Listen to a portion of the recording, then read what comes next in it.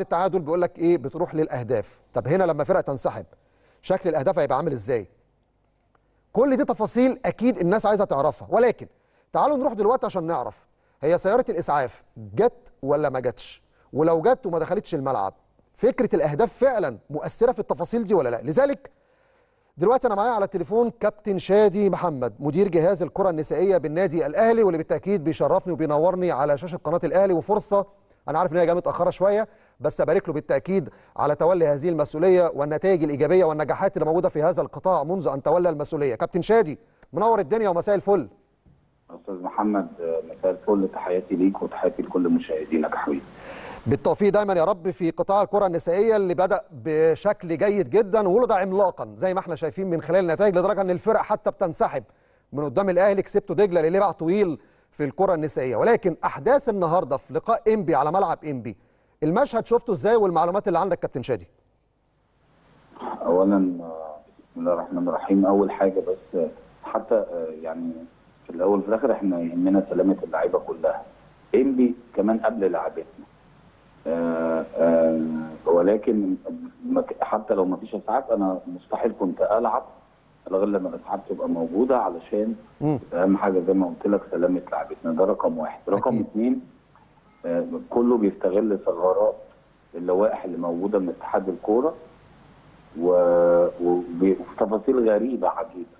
لا تليق ابدا باللي أنت عايز تنهض بلعبه. إحنا بنتكلم كرة القدم النسائية موجودة في العالم كله دلوقتي وإحنا المفروض على علمي عن بادئين متأخر جدا. آه لازم عندك منتخب قوي لازم عندك قطاعات ناشئين قوية جدا. فقررنا ان النادي الاهلي لما يدخل ضربة البداية يدخل باسمه الكبير يدخل قوي أكيد يدخل قوي بنظامه بعد أعداد كبيرة جدا مع الكابتن محمود الخطيب وحطينا بلان واثنين وثلاثة ثم قررنا إن إحنا هنلعب باسم النادي الأهلي وهنحاول في قدر المستطاع نجيب اللعيبة اللي تليق باسم النادي الأهلي وكمان المدرب اللي يليق باسم النادي الأهلي. اصطدمنا بواقع غريب عجيب. بطولة الدوري اللائحه بتقول بالأهداف. طب أنا في فرقه بتيجي ما تلعبنيش وتروح مع فرقه ثانية تخسر بالعشرة والتسعة. طب ما هتتحسب بالأهداف. يبقى أنا بذلت مجهود على مدار السنة وبالتالي ألاقي نفسي في المكان اللي أنا ما استحقهاش. رقم اثنين اللي أنا النهارده طبيعي هدخل معسكر لعيبة هن... هن... بنصرف طبيعي يبقى في مكافآت طبيعي يبقى في لاب لاب أمور كتير جدا مالية. دي اللي يتحملها والفرق بتنسحب فرق مش على قدر المسؤولية وفرق بتتلاعب بشكل كبير جدا وبتعبث بالمنظومة الكوره هل أنتوا عايزين تطوير؟ ولا للقطاع ده؟ هل عاوزين تحلموا زي ما إحنا حلمنا الحلم وعملنا فريق محترم؟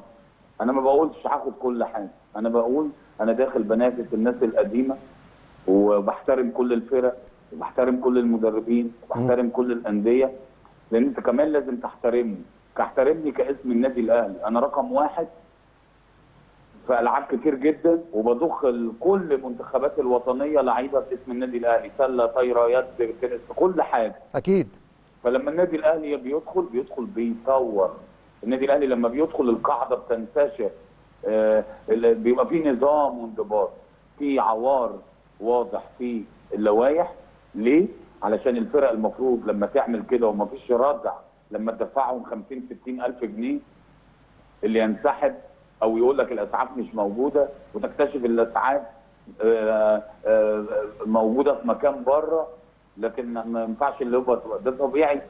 يعني شوية الأسعاف كانت موجودة شوية لا مش موجودة. ثم وإحنا بنتحرك لقينا الأسعاف جاية بتعمل صوت وموجودة فجأة. موجودة داخل النادي.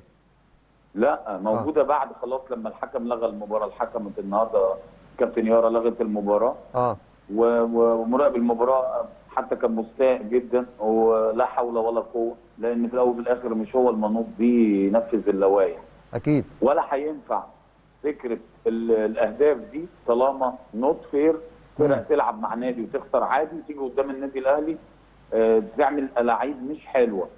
وكرة القدم مبنية على النزاهة. على المجهود والتعب. ال fair play المركز الأول مظبوط. بالتعب والمجهود. رقم اثنين أي فريق غير قادر على مجاراه دوري كرة القدم السيدات ما يشتركش وتحافظ على شكلك واسم ناديك. ده نصيحة لوجه الله.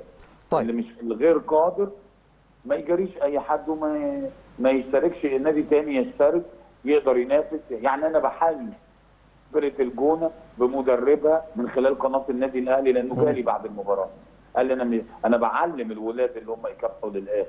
بعلم الولاد اللي ما فيش حاجة اسمها انسحاب وخسر ب- ب- ب- بسكور كبير ولكن ده ده احتراما آه، عندي أنا كمسؤول وعند المنظومة ليه؟ لأنه الراجل كمل قال لي بناته مش هنخرج هنكمل وهنلعب طب كابتن شادي أنا من خلال متابعتي للمواقع وحتى قريت لك تصريحات قبل البرنامج أنتوا سياره الإسعاف والصور اللي أنا شفتها هي داخل النادي بجوار الملعب ولا المشهد كان إزاي؟ لا هو حضرتك قبل ما يبتدي ال- ال- اللعيبة كان في إسعاف موجودة بره أوكي. أنا بحكي لك المشهد ودي الأمانة أمام الله بالظبط.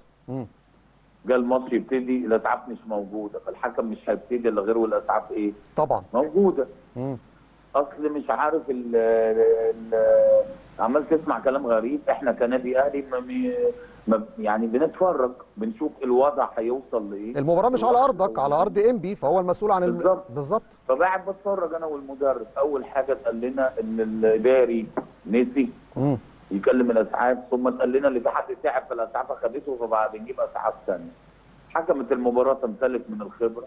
فقعدت مستمع منتظر صدق. تمام؟ فالحكم قالت الكلام ده بيحصل والواضح اللي مش هيبقى فيه أسعاف عشان ممكن ما يلعبش ولكن ننتظر. انتظرنا الوقت الرسمي. بالظبط. بنطلع على الباص بتاعنا لقينا أسعاف في الظهر مستخبيه يا. هي دي الحقيقة. فطبيعي أنا اما بدخل زي ما قلت لك أنا أنا أنا أنا كنادي أهلي لما بندخل حاجة بندخل مم. بنحترم الأندية بنعمل نظام بنعمل لوائحنا. ب- بنحاول نوصل للشكل عشان النادي الأهلي مدرسة بيتعلم منها الجميع في كل الألعاب بالمناسبة في كل الألعاب. عايزين نطور عشان إحنا أكيد. عارفين اللي فيه قصور من سنين السنين. أكيد. و في حاجات مش بصدد اللي أتكلم فيها فقررنا إن إحنا نشتغل بس ومالناش دعوة بحد. لكن أنت النهارده اللائحة بتقول ال ال ال ال ال الأهداف. أهداف إزاي بالوضع ده. هنستنى بقى نشوف لازم أبقى اتحاد شايف كده من أول أسبوع واثنين. وثلاثه ما اتغير يا فندم. هتغير. لا أكيد أكيد. هنستنى نشوف يعني النهارده النهارده يا. أستاذ محمد اتفضل. لما حد بينسحب اعمل عقوبات شديدة عشان غيره ما ينسحبش.